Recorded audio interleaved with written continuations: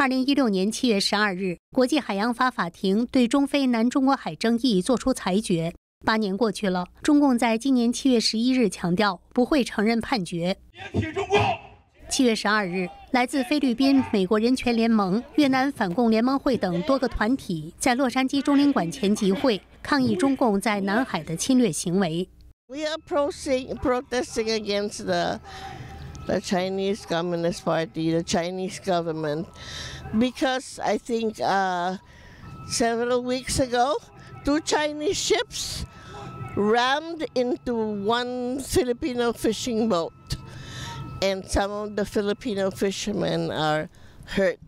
We have a problem with the Communist Chinese government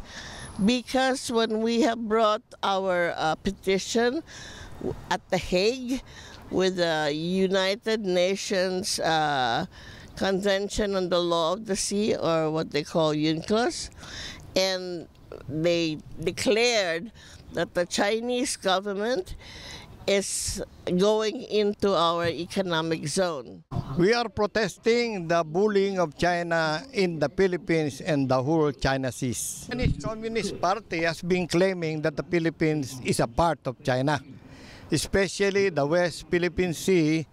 and its economic zone.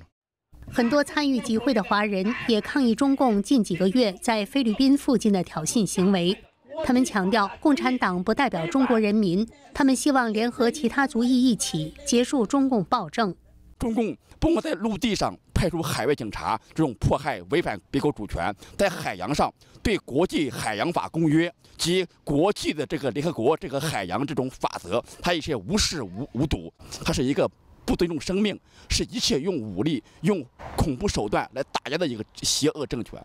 当天，旧金山、纽约及英国的多个地区也同时联动抗议中共在国际社会的霸凌行为。